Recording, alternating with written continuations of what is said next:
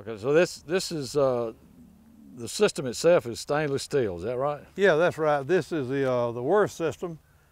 You know, Worth is the first people ever, I think, to ever make the, uh, the anchors that roll up.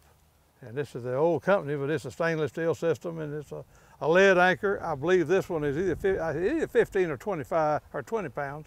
I believe this one's 20 pound anchor, but being small, being lead, it kind of digs in the mud a little better. But everything's stainless, nothing rust. It's good size. It It's is a good size, and Good uh, size. of course, everything we put out, all rhinos go out, anything above a 20 horse motor's got a water separating fuel filter. Okay. Well, this fuel we buy nowadays, we need all the help we can get, and that's just a must right there. And, uh, and, and a good recommendation is to, to use non-ethanol.